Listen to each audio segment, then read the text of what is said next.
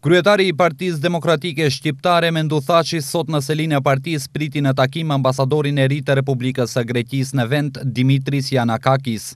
Në takim u bisedua për tema lidhur me situatën aktuale politike, për zgjedhjet e parakohshme parlamentare, si dhe për marrëdhëniet ndërfqinjësore mes dy vendeve,